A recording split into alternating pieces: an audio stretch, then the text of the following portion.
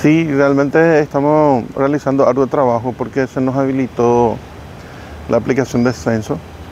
Eh, en este momento iban especialmente dirigidos a las personas de extrema pobreza, asentamientos. Tienen totalmente prioridad los asentamientos que están al borde de la ciudad y en los barrios así, en la zona periférica.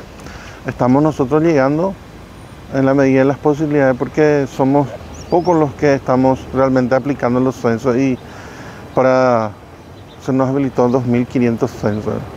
Pero a Dios, Dios gracias estamos llegando a la mayor cantidad posible de gente para que puedan ser beneficiados por, el, por ese beneficio, Ronald. Hay mucha gente entonces está, estaría ingresando en una lista de espera para posteriormente poder cobrar los beneficios.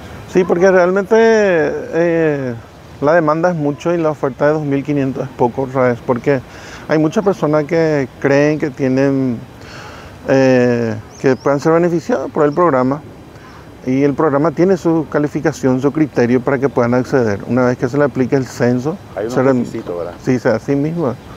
Nosotros estamos realmente trabajando por los, por los asentamientos, asentamientos Cocopajú, Romero Cue, eh, Villa Guillermina, San Gabriel, 3 de febrero, eh, 15 de agosto, 26 de agosto, todos esos asentamientos, Coapajú, Coapajú, Soberanía Nacional, Barrio L, todos esos asentamientos le damos prioridad. Eh, absolutamente tiene prioridad lo que están por el momento en, las, en los asentamientos. Y, Madre soltera, Carlos. El programa en sí va dirigido a familias con niños y niñas en edad escolar, no a madres solteras. También puede ser un papá soltero, ¿verdad?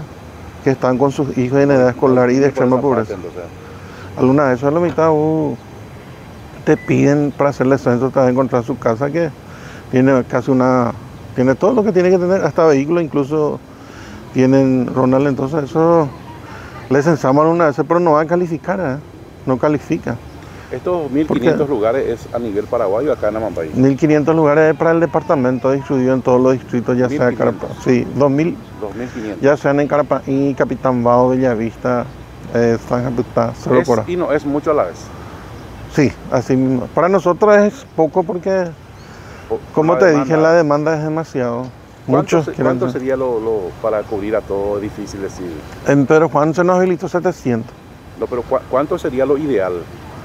y unos 5.000 a 6.000, y que 6.000. resultaría poco otra poco, o sea, pero por lo Sí. menos eh, eh, podría eh, ser un poco más compensatorio, ¿verdad? Sí, así mismo, ser un poco, sería un poco más compensatorio. Diligenciamos, gestionamos, solicitamos y se consigue con el respaldo correspondiente.